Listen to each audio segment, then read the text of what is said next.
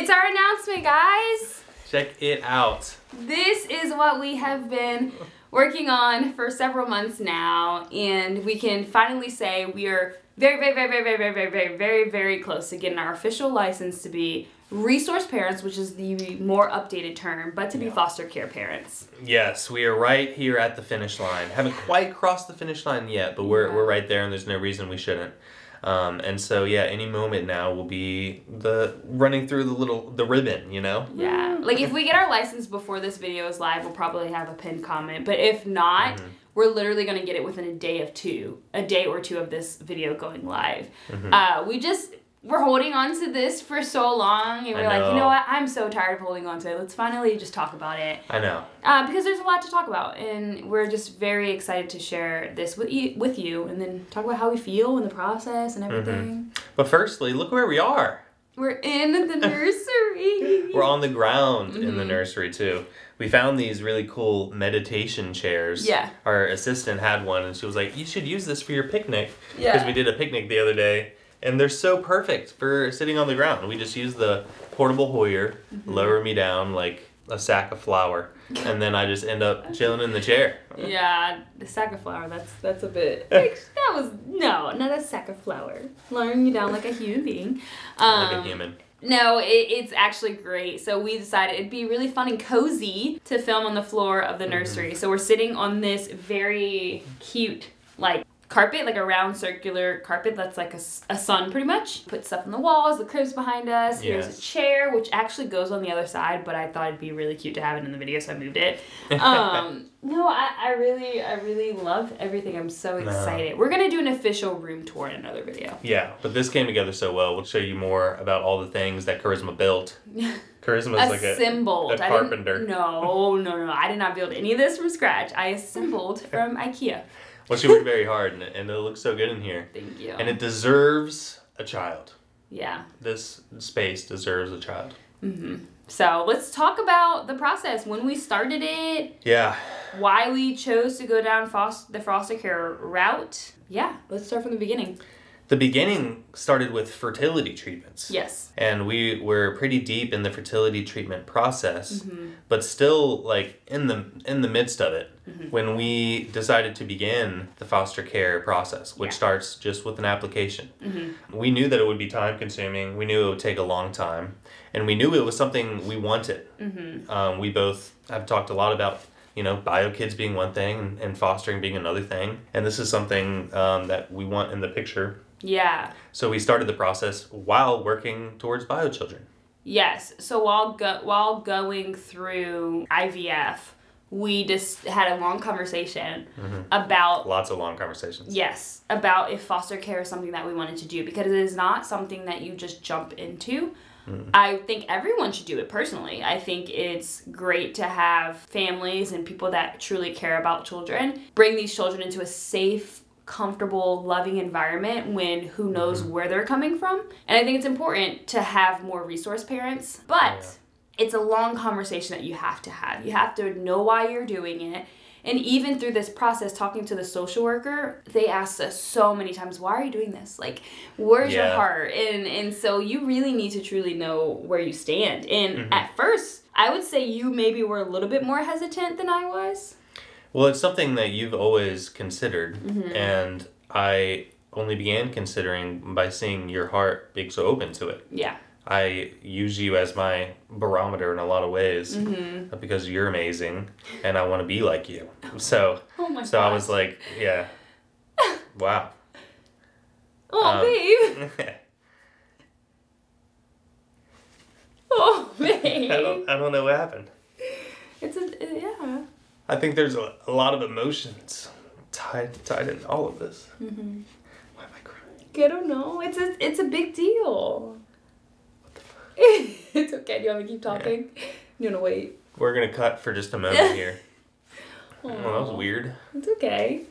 Anyway, We're, I don't even know what you're about to say. I don't know either. It's just um.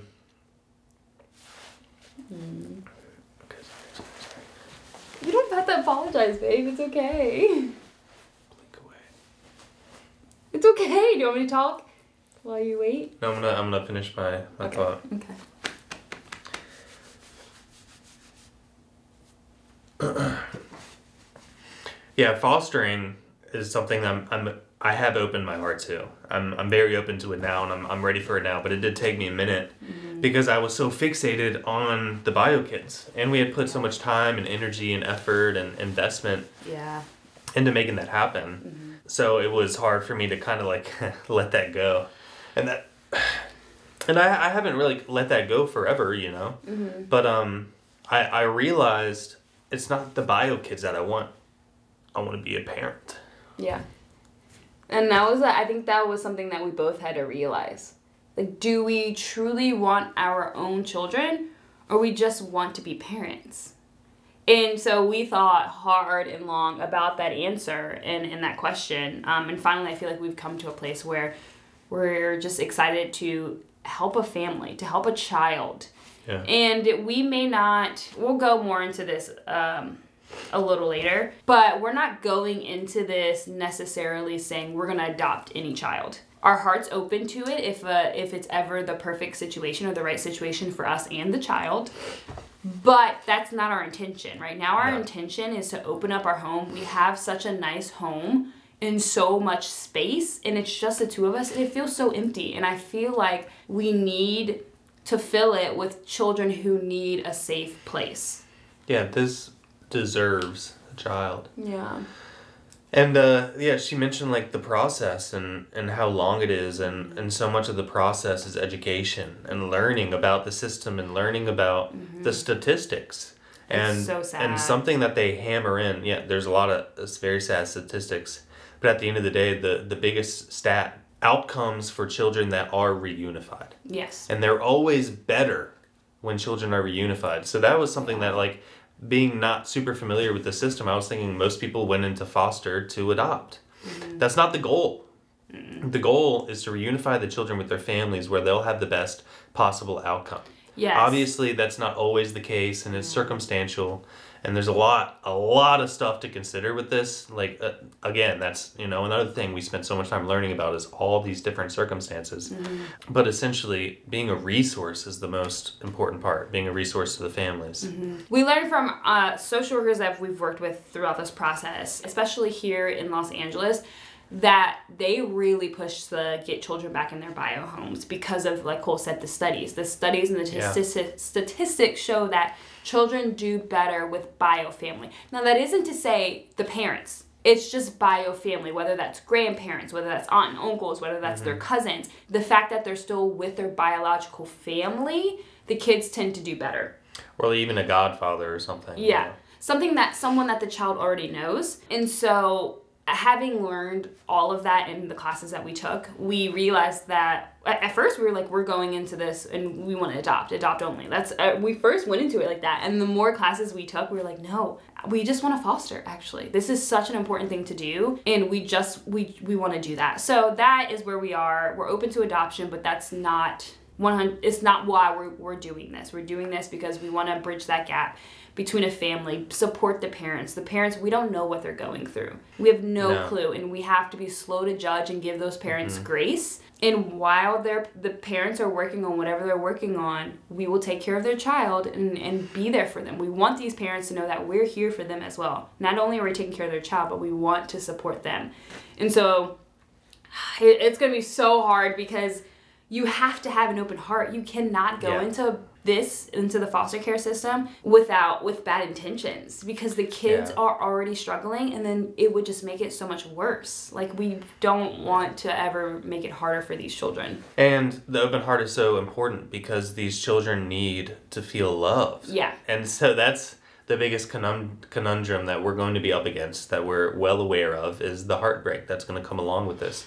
And that's been all of our mm-hmm. friends and family's chief concern is like, you know, protect your hearts too. And I understand that, but I, I think I'm just accepting that, you know, we will have our heart broken. Yes. As long as we're doing something good though, that's okay. Yeah. I've had my heart broken before, you Yeah. know? Mm-hmm. And that it wasn't the end of the world.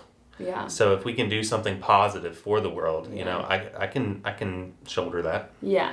we just hope that whatever child is in our care when they are reunified with their parents that it is the best situation for those children that's Yeah. the only thing that we hope we want these kids to go back and have the best situation possible for them. So yes. So we just kind of went on a tangent. Let's talk Yeah. about the process. So when the we started. Process- hold on before you talk I, there's a little thing on the screen. Is it dirty?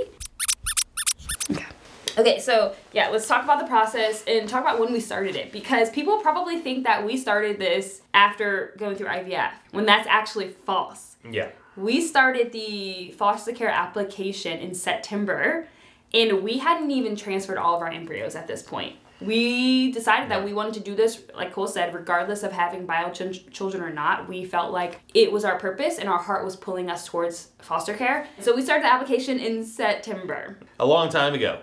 It takes a long time to do this. And like I, I don't know if I mentioned this in a past video or not, but for a while there, it felt like we had a part-time job. Yeah. With the amount of classes we had to take, like 3 Mm-hmm. four-hour classes, we had to do the CPR, first aid training. We had to go places and get fingerprints done. Yes. We had to get background checks done. Like there is so much, and that's all before the interview process. Yeah. Because in the interview process, when you're assigned your resource family approval social worker, and there's a million different social workers we're learning, Mm-hmm. um, there's a whole interview process, hours and hours and hours, where Mm-hmm. they're talking about, all right, how are you going to parent? How are you going to discipline? How were you disciplined when you were a child by your parent? Like a million questions, and then Invasive too. and then preparing the house. Yes. So much. It's a lot. It's a lot. And so we made our final announcement that we're done with IVF, I think November or something. So when we made that announcement, because there were a lot of people saying, why don't you adopt through foster care, foster care? Like I saw a lot of foster care on that announcement. And I'm like, that is hilarious because we had already, we were well into the classes Yeah. at that point. We were like, Yeah. yeah, no, we guys, we like, we know there are options. We just will need to do it on our time. And Um, share it on our time. Yeah, so this is something that we've been we started in September. It's a lot. It's a lot. It's a lot because you have a lot to learn. Mm-hmm. There's so much to understand about the system, Mm-hmm. about the scenarios that you may be coming up against or, or coming up with. And Mm-hmm. The traumas of these children, why Yeah. why they are in the system, different reason reasons why kids get placed into the system. learning about visitations, how that goes. Mm-hmm. Man, it's just, It's a lot. I feel like I got a, a degree in parenting. Yeah. parenting, especially traumatized children. Yeah, well, it was great. It was a parenting class. Like, Yeah. we didn't have to sign up for a parenting class. We went to learn about foster care also. Seriously. And also learn how to parent at the same time. So it was very informative. Like, there are parts of the class that stressed us out. We left every class exhausted. So then after that, like Cole said, we had to get our CPR certification, which is why in a video we posted, you saw Cole doing a CPR Yeah. certification. and then we just finished up our home study maybe two weeks ago. Yeah, preparing the home was a lot. It was a lot. just to make sure you know it's safe for us and for the children Yeah. when they when they come and, and there's still some little things that we got to figure out with that too So maybe let's dive into the age that we're getting licensed for. Mm. we talked a lot about this entering into the foster uh, process while trying to have our bio baby concurrently had us really fixated on getting a baby Yeah, and fostering babies fostering two and three and under specifically. So the first thing we did was get the nursery going. Yes. You know, because we were like, all right, we're honed in on that. Yeah. And we were honed in on that for a while through the process. For majority of the process. a lot of it. Yeah. And I don't know what moment changed it. It was probably another long emotional conversation we had.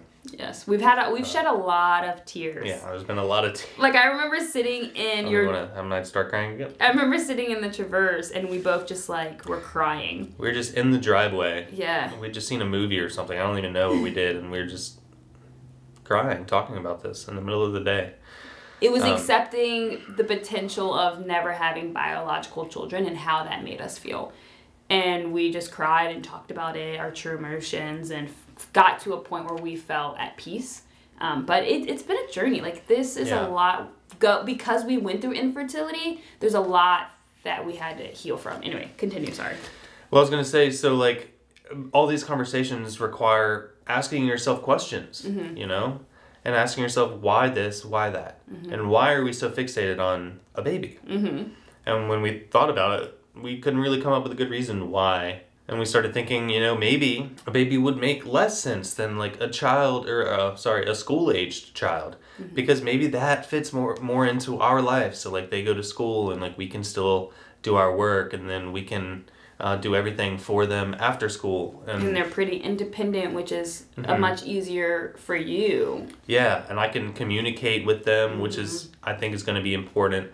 I can read to them. I can help them with their homework. Like I feel like I could do a lot more with that age child, which you know, all of a sudden I feel these doors opening in my heart, and it's like, okay, this makes a lot of sense in a lot of different ways.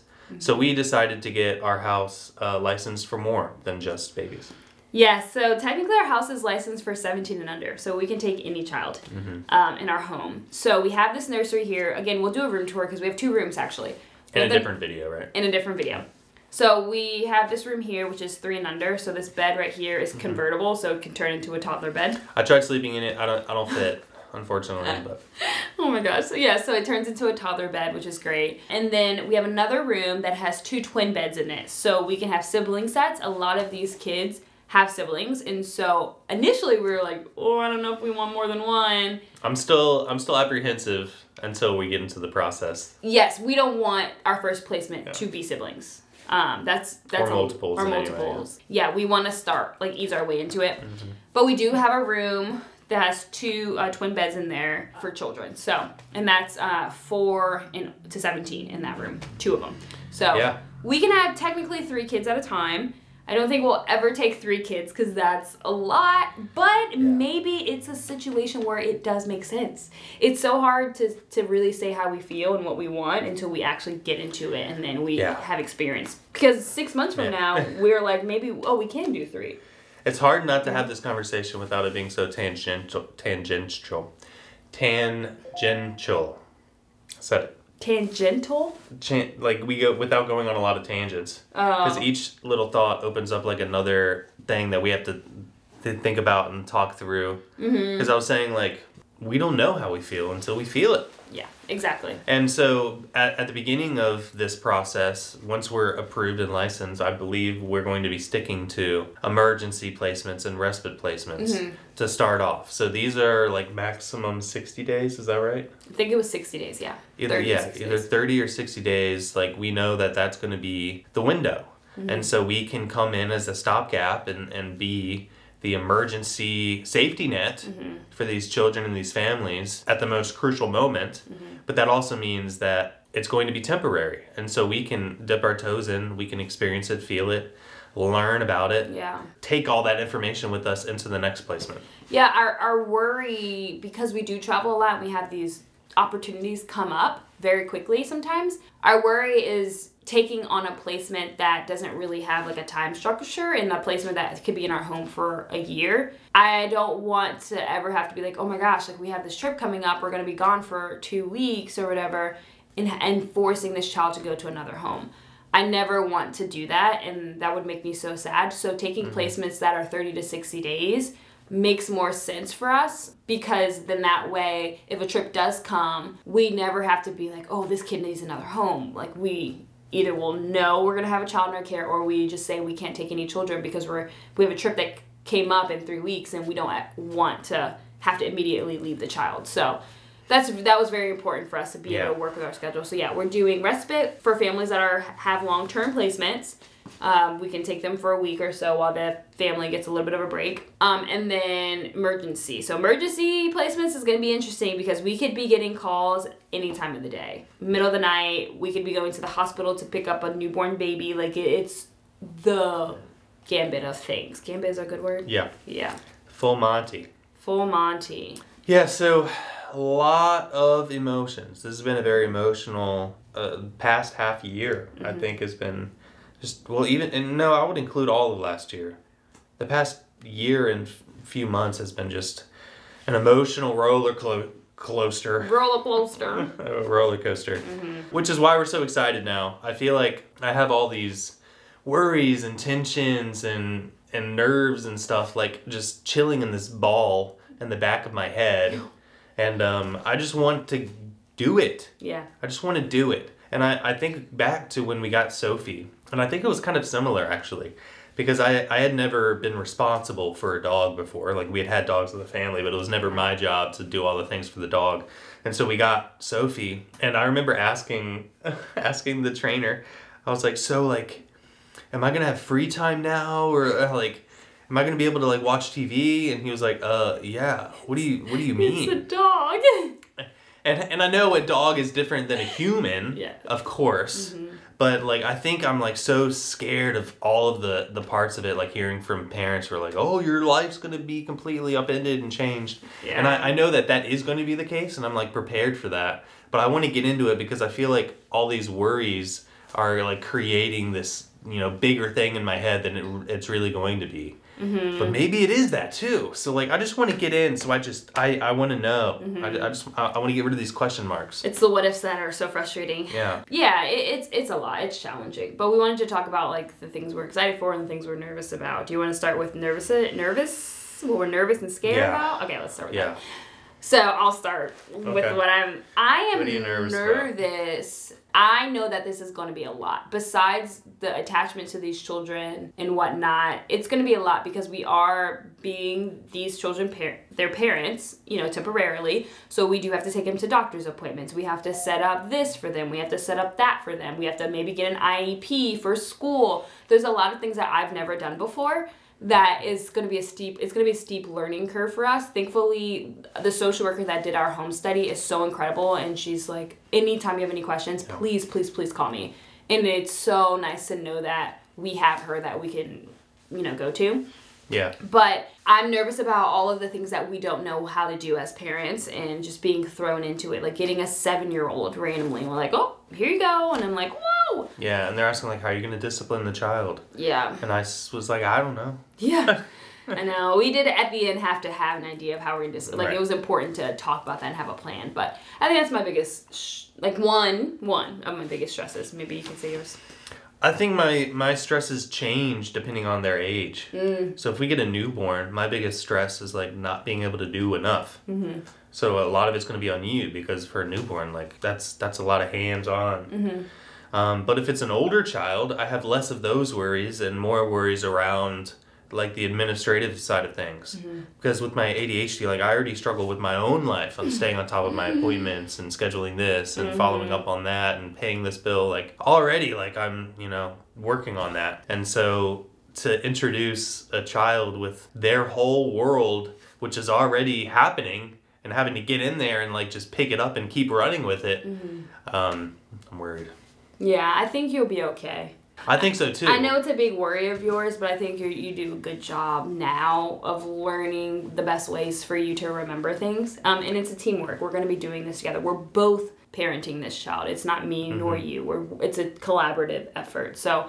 I think that my I'm better in this area, you're better in this area, and then with our both of our skills and our you know positives, we come together and we'll have we have one amazing person. So Yeah.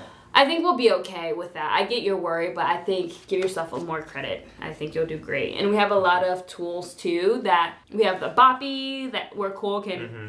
hold an infant and a newborn. He did that with his niece. Great I could job. feed, you know. Cole could feed. We got um, a chair that kind of reclines just a tad bit so that Cole Mm-hmm. could actually feed. We have a formula maker that Cole can operate so he can make bottles. So there's a lot of things that we got that were more expensive, but it meant Cole had the freedom to help more. Like these chairs, for example. This is Oh. something we got so that I could like be on the ground with a baby during tummy time or hanging out in the playpen with a toddler when they're playing games or something. Yeah. I might be a sitting target, but we'll yeah. see. I mean, it'll be a lot of effort to get you on the ground. It may make more sense to just stay in your chair, but And we'll learn that too. Another Yeah. question mark that we just got to figure out by doing it. Yeah. Another thing I'm worried about is this is one of the concerns that our social worker that did our home study had, but it's the fact that the social workers assigning cases to us may never call us for children under three because of Cole's disability. And so they may discriminate us because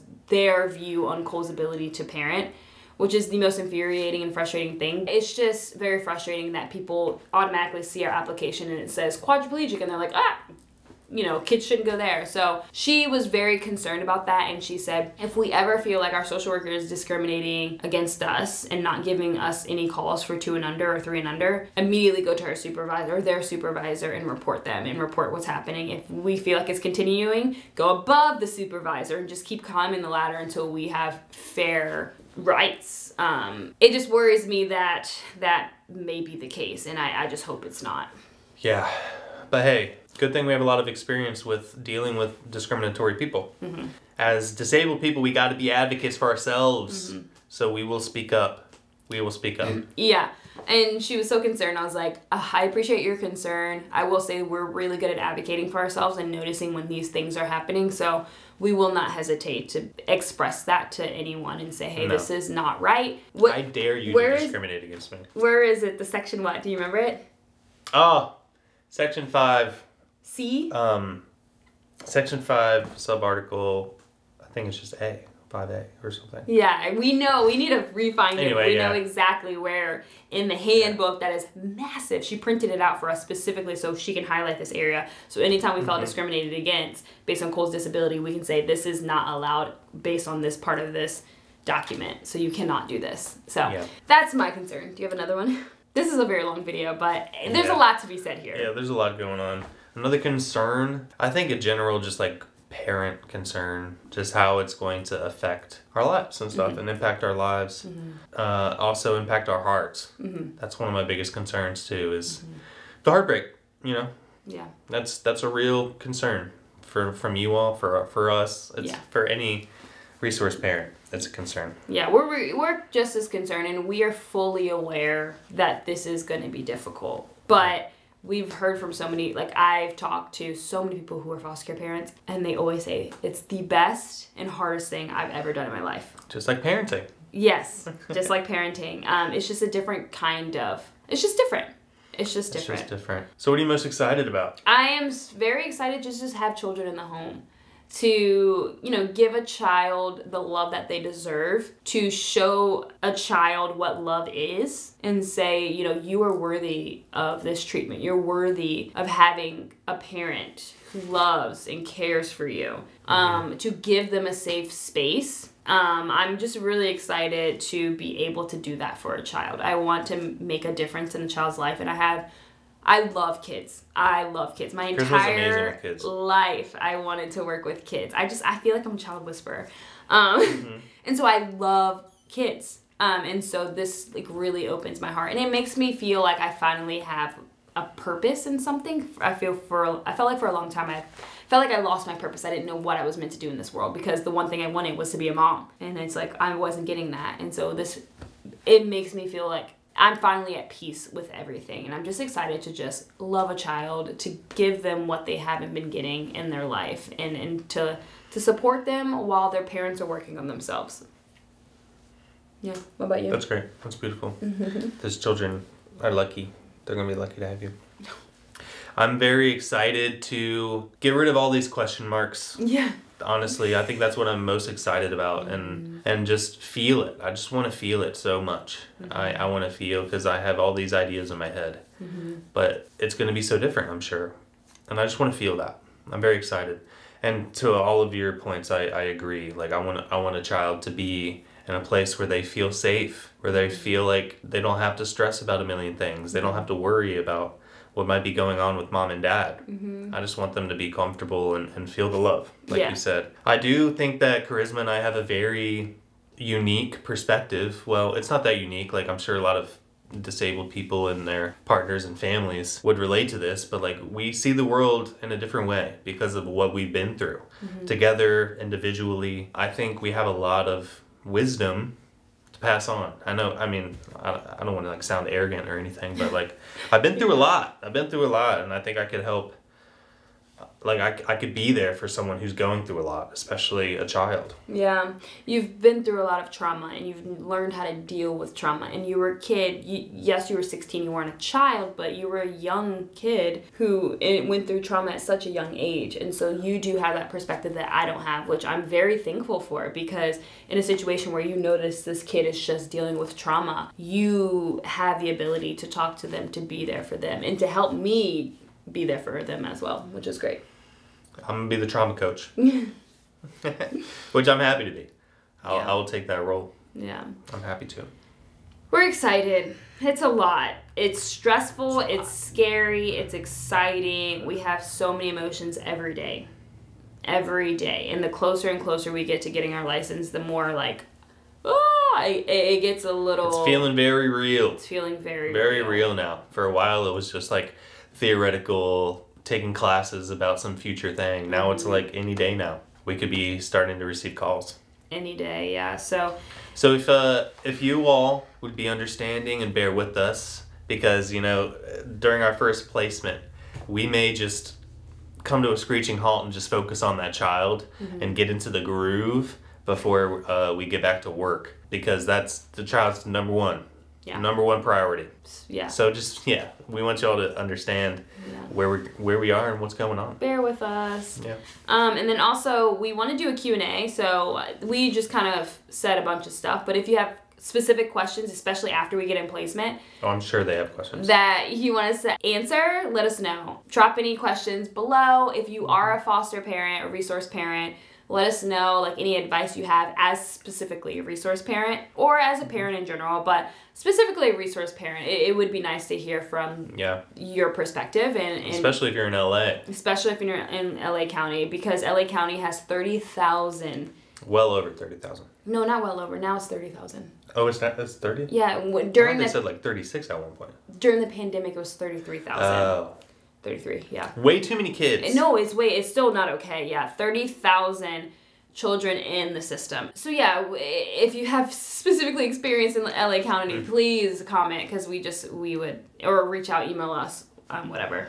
One thing I'll, I'll add before we wrap up Mm-hmm. is that Charisma and I have a lot of agency as resource parents Yes. in the sense that like we have and because we've had a long, another long emotional discussion about this a list of questions that Oh. we are going to ask a social worker who gives us a call about a placement. Yes. and depend like we're we're very particular about those questions. Mm-hmm. Where's the child? What's the visitation? What are they going to be like? What's the situation?